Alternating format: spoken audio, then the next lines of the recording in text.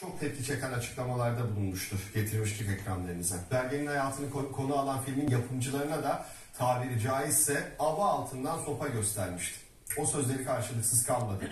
Film şirketi suç duyurusunda bulundu. Halis serbest ifade verdi. Bundan sonra adına Vay be.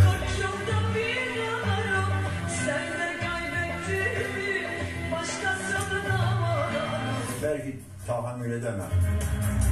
Şerefsiz adam. ben değil benim ailemden gitmiş. Şerefsiz adam.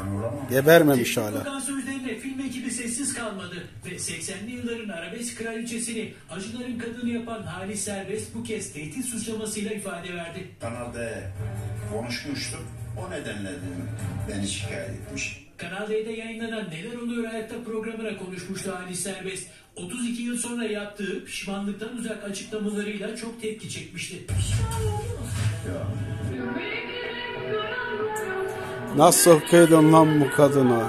Belgenin hatırasını beyaz perdeye taşıyacak olan filme de itirazı vardı. bir hayali film yapıyorsunuz. Ben ölmedim. Sana engel olur musun? Olur, olur, olur. Olur mu öyle şey ya? Beni hoş bir, bir insan mı götürecek ya? Ha, tamam yatalaklarım var, o ayrı. Elini Senaryonun yalvar. gerçekleri yansıtmadığını öne sürüp filmin yapım ekibini de tehdit etti. Ben değil, benim ailemden mesela bir gitmiş bir şey yapmış, böyle bir mani olamamış.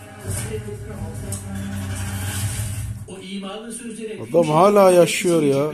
Yapımcı Mine Şengöz, Halis Serbest hakkında suç duyurusunda bulundu. Filmle ilgili o bir bayan Mine, Mine midir nedir? O beni dava dava etmiş. Halis Serbest önceki gün emniyette ifade verdi. Daha önce de ben kanalda konuşmuştum.